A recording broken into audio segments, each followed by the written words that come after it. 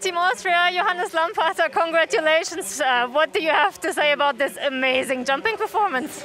Yeah, it was a really great day for us today on the jumping hill. Um, everybody from us make a, an excellent job.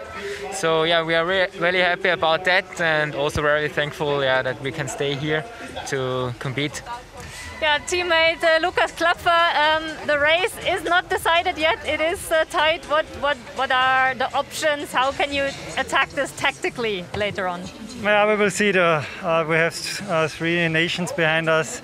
They can work together and they are really strong. So we will see if we, we try it from the beginning or maybe uh, wait for them and try in the end with a sprint. But yeah, that's the job of the coaches, and we try to give our best on the cross country track.